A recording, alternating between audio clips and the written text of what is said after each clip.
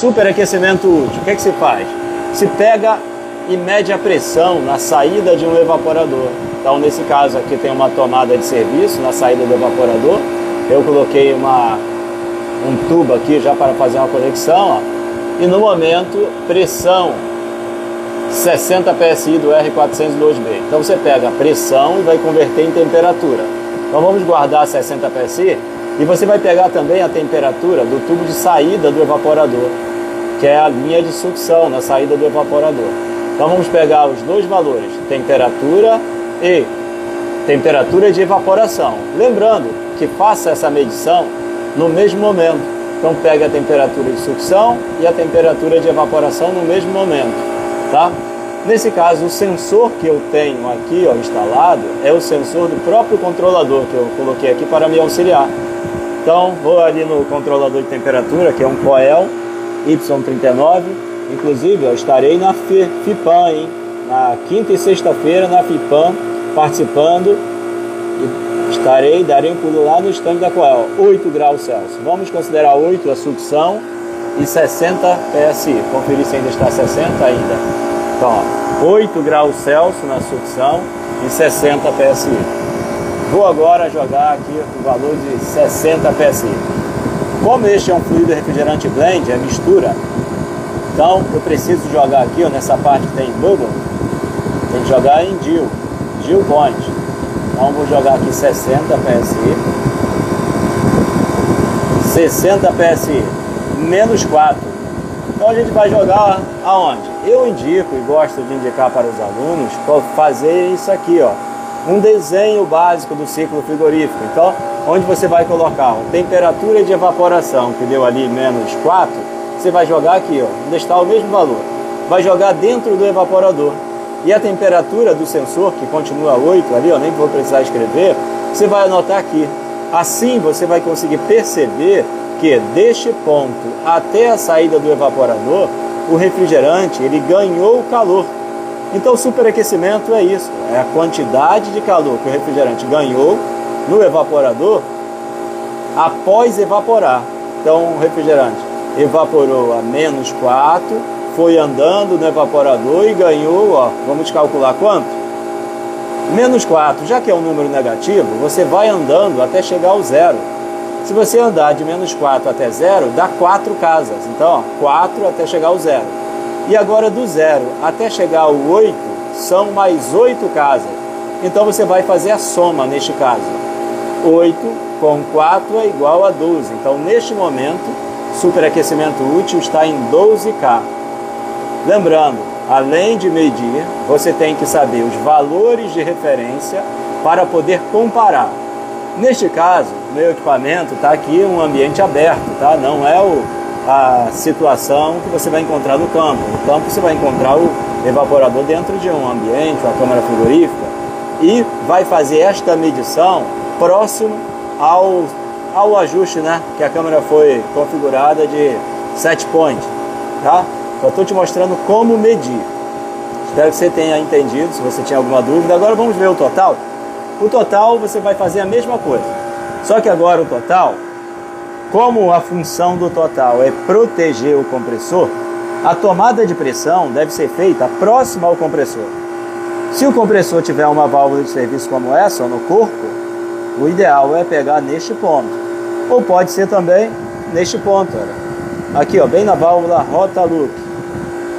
Neste ponto vai medir a pressão no caso de baixa.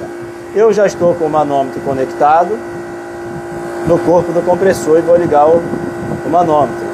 Este manômetro tem o benefício de eu não precisar usar ali o aplicativo, então ele já mostra temperatura de evaporação, menos 9. Está variando um pouquinho, mas está nessa faixa, menos 9. Então você vai pegar esta temperatura de evaporação de menos 9 e vai jogar para o desenho, tá bom? Menos 9. Estão vendo como houve uma diferença de pressão entre este ponto e o ponto ali, ó, do evaporador, pessoal? Estão vendo a diferença? Aqui, ó, está dando quase 60 PSI. É claro que eu não sei se está bem ajustado esse manifold aqui, né? O ideal é, depois vou até substituir, botar o digital aqui para conferir, comparar. mas sempre haverá uma pequena diferença de pressão entre o evaporador e este ponto. Por quê? Existe perda de pressão, perda de carga no caminho. Então, se você vai fazer o superaquecimento total, meça próximo ao compressor. Se você vai fazer o superaquecimento útil, meça ali no evaporador. Não utilize esta tomada de pressão nestes pontos para querer medir superaquecimento útil, tá? Então, cada local é mais indicado para medir em caso de superaquecimento útil, total, subresfriamento. Então, viram que existe diferença de pressão. Vamos considerar isso aqui. Pressão no momento está esta menos 9. Então, esta é a temperatura de evaporação. Vamos jogar no desenho, apagar ali o do útil e vamos fazer agora o total. Então, no total está dando o seguinte, Está mostrando que está uma temperatura de evaporação de menos 9, menos 9, e aí esse refrigerante está vindo, vindo, vindo até chegar ao compressor, ao compressor, menos 9 está lá, até chegar ao compressor, você precisa medir a temperatura com o termômetro a mais ou menos uns 30 centímetros do compressor. Termômetro, sensor de temperatura. Aí você vai medir quanto ganhou de calor de lá até o compressor. Este valor de superaquecimento total é para garantir vida longa ao compressor. E quem vai indicar esse valor é o fabricante do compressor. Agora lembrando que neste caso aqui, o compressor da Danfoss, você precisa também se atentar às expressões de trabalho que ele está trabalhando para verificar o que o fabricante indica, qual o superaquecimento indicado. Então, neste caso, você vai verificar o seguinte: ó, pressão de sucção. Aí você vai achar a temperatura menos, ó, menos 9. Menos 9, então guarda esse valor. E temperatura de condensação. Condensação, vamos dar uma olhada aqui quanto está. 275, 280. 280? Vamos jogar para cá. Eu quero saber a temperatura de condensação. Então vou jogar em bubble, que agora é condensação, e vou colocar 280. 280. Está trabalhando com 44, vamos considerar 45? 45 na condensação e menos 9 na evaporação com R402B. Então agora você vem aonde? Vem no que a gente chama de envelope do compressor, que é esse aqui, ó. Então este aqui são os limites de operação com R402B. Então aqui, ó, você vai procurar os valores. Temperatura de condensação, 45, né? E vai procurar a temperatura de evaporação, que está dando menos 9. Então você vai cruzar as informações, ó. Menos 9 está mais ou menos aqui, ó. Menos 9 e 45 está mais ou menos aqui. Ó. Então, o compressor está trabalhando nesse momento, neste ponto, olha só. Olha o ponto que ele está trabalhando, neste ponto, ó, 45 condensação, e está com menos 9. Então, entenderam? Então, neste ponto do gráfico do envelope, este fabricante, que no caso é o compressor Manerop, da Danfoss está indicando que o superaquecimento máximo pode ser de até 30. Então tem que ser menor que 30 o superaquecimento total para proteger esse compressor. Então aqui ele está trabalhando numa condição ótima para ele, bem no meio do envelope, uma ótima condição. Então neste caso ele não corre nenhum risco. Agora vamos imaginar que ele tivesse com temperatura de evaporação em menos 25, um exemplo tivesse em menos de 25 a evaporação e a condensação a mesma. Olha só, 45 e menos 25. Então ele estaria aqui, ó. Neste ponto, estão vendo? Neste ponto, o fabricante deste compressor, que no caso é Danfoss, o compressor Manerop, sempre que tiver nesta área aqui, é uma área restrita, é uma área de risco. Isto porque você tem baixa temperatura de evaporação e alta de condensação. Então, nesta área, em toda esta área aqui dentro, não é mais indicado o superaquecimento máximo de até 30. Aqui o máximo deve ser de até 11K. Então, superaquecimento máximo 11K. Então, neste ponto, está onde? Está bem no limite, na divisa. Na divisa eu vou utilizar o que? Por segurança para o compressor, Se ele trabalhar geralmente nesta faixa, eu vou preferir utilizar o superaquecimento de 11 do que de 30. Então, nesse caso aqui, ó, já está no limite, eu usaria 11K. No caso aqui do funcionamento, não é o caso, tá? Então, o superaquecimento indicado pelo fabricante vai variar em que condições o compressor está trabalhando no momento. Bom, vamos considerar que não fosse o refrigerante R402B. Vamos considerar que fosse o R22 que estivesse trabalhando ali na máquina. Aí o envelope já é outro. Aí os dados já são outros. Já é isso aqui, ó. Vamos aqui, ó. Aqui já é envelope, ó compressor hermético MT com R22. Agora o envelope já é outro. Está aqui pequenininho, mas eu ampliei. Então vamos verificar se fosse com R22. Se fosse com R22, ó, menos 9, menos 9 e 45 na condensação. 45. Então vejam que se fosse com R22, ele estaria trabalhando aqui, ó. ó. Estaria trabalhando mais ou menos aqui. Então vejam a diferença. Se eu tivesse com fluido refrigerante R22, já está me aproximando para utilizar um superaquecimento mais baixo. Ó, e aí, ó, nesse caso aqui, eu iria utilizar quanto? Até 30? Não, eu ia procurar utilizar o quê? Um valor de uns 12K, 13K, por aí. Porque se baixar mais a temperatura de evaporação ou aumentar mais a condensação, o que vai acontecer? Ele vai estar próximo ao valor indicado ou talvez até baixando mais o superaquecimento total. Então viram só como com a mudança só do fluido refrigerante, eu já melhorei as condições de trabalho do compressor. Ele queria trabalhar ali, ó, próximo pedindo superaquecimento de 11 no máximo, agora ele está trabalhando com R402B ali, ó, praticamente no meio do envelope, no meio do envelope. Além disso, você também consegue verificar o seguinte, quais são as potências de trabalho do equipamento, como assim? Com a capacidade frigorífica, com aquele gráfico, e também consegue saber o consumo elétrico do equipamento quando você tem esses valores. Então vamos ali no, na tabela procurar qual é a potência frigorífica que este compressor, que esta unidade está entregando. E qual é o consumo elétrico que, esta, que este compressor, né, na verdade compressor, na unidade, porque os dados que eu vou mostrar ali é somente do compressor. Se você quiser fazer um cálculo de capacidade de potência consumida, tem que somar então resistência, somar ventilador e outras informações. Mas vamos ao compressor. Da mesma forma, você vai ter vai precisar das duas informações: temperatura de evaporação e temperatura de condensação. Ali na tabela não tem a temperatura de evaporação em menos 9, então vamos arredondar para menos 10. Arredondar menos 10 a evaporação e a condensação 45.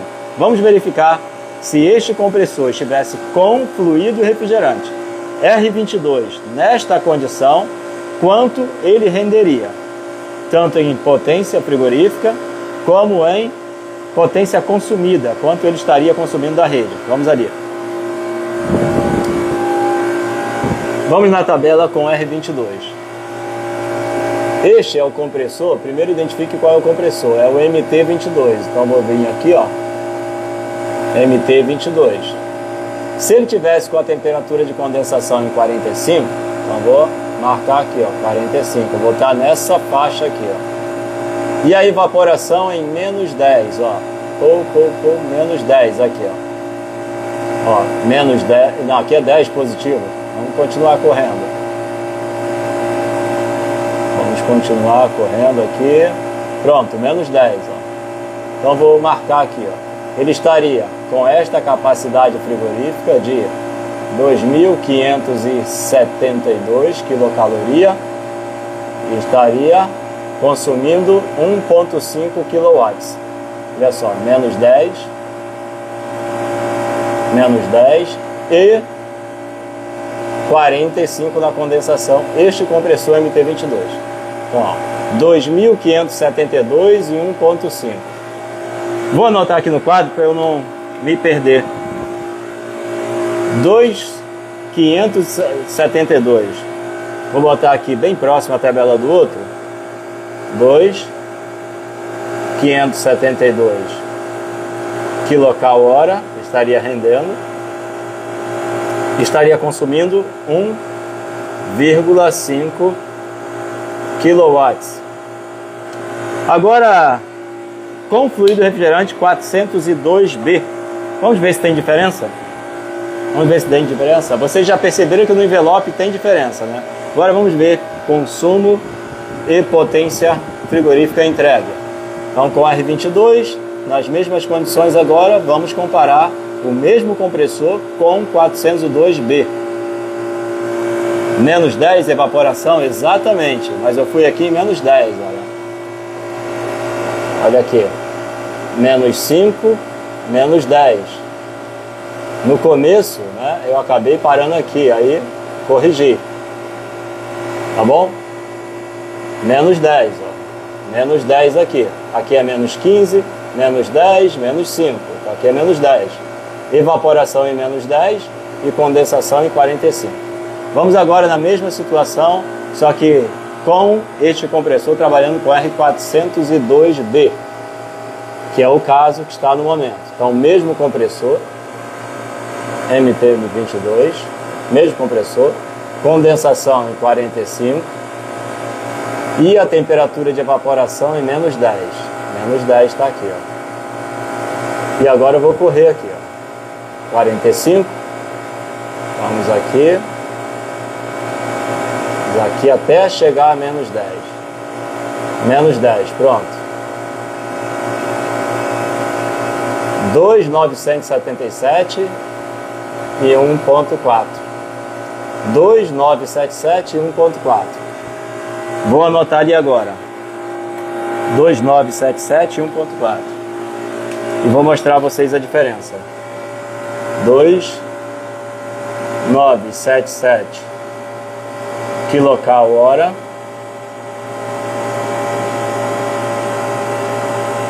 quilocal hora e 1.4 kilowatts consumido.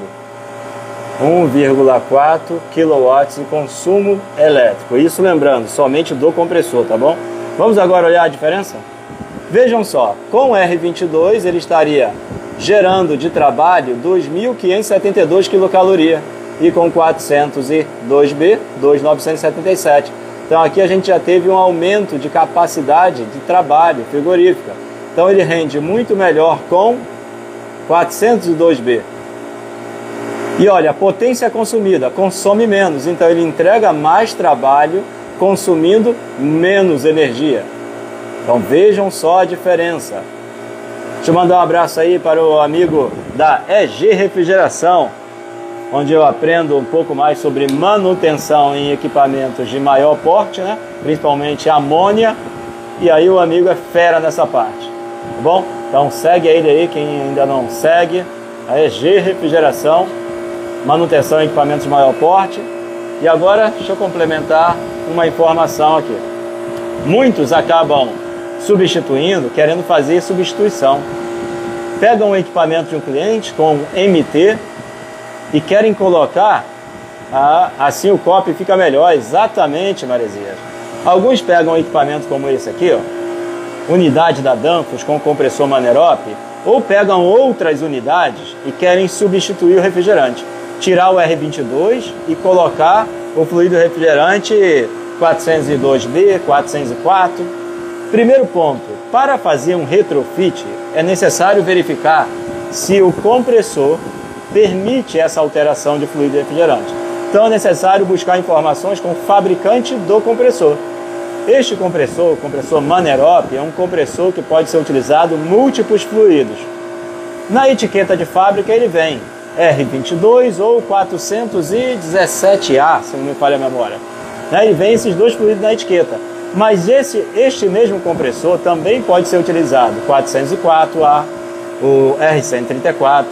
Mas o que acontece? Para a utilização destes fluidos neste compressor é necessário trocar o óleo, tirar o óleo mineral e colocar o poliol éster. E aí muitos acabam fazendo o seguinte: querem retirar o R22 e colocar o 404. Só que, meu amigo, não há necessidade de fazer isso. Se você precisar né, fazer com que o equipamento, o compressor, esteja trabalhando mais dentro dos limites de operação para que ele consiga trabalhar com a temperatura de evaporação mais baixa. Não precisa colocar o R404. Isto porque o R402B ele tem as características bem parecidas, similar ao R404. Então você apenas troca o fluido refrigerante, não precisa trocar o óleo para colocar o 404 naquele compressor. Você utiliza o que? O 402B. Comercialmente aí, para quem conhece os, os fluidos refrigerantes mais da Chemos, é o, é o HP81. Então não há necessidade de retirar o R22 e colocar o 404, porque você vai ter que substituir o óleo. Então basta, basta você colocar o 402B, ok? Porque é o mesmo óleo que o R22. A mudança que vai precisar ser feita no equipamento é a substituição do dispositivo de expansão, que é a válvula. A válvula de expansão precisará ser substituída. Como o fluido 402 é similar ao R404, então a válvula utilizada é a válvula do R404. Então, às vezes, o pessoal pega um equipamento e fala assim: Poxa, peguei um equipamento que está tudo errado. O compressor é para um gás, o refrigerante está outro e a válvula é para outro. Isso porque às vezes eles pegam o seguinte: olham na etiqueta do compressor, está aqui R22 na etiqueta. Rapaz, fui colocar a mão aqui no compressor sem olhar, quase foi no borne elétrico. Pega o compressor, está na etiqueta R22. Aí alguém coloca a etiqueta do fluido refrigerante que substituiu. Se você for fazer o retrofit, lembrando, é necessário colocar uma etiqueta de identificação de qual fluido refrigerante está sendo utilizado agora. Então a pessoa pega o compressor de fábrica R22, aí encontra a etiqueta R404, R402B, na verdade, R402B. Este aqui. Aí chega na válvula, tá 404. Aí a pessoa fala que é uma mistura tremenda, tá tudo errado.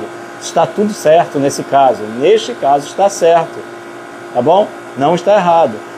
Compressor Manerop, lembrando, pode ser utilizado múltiplos fluidos. Você vai encontrar tanto no compressor Manerop, compressores semi-herméticos, são múltiplos fluidos.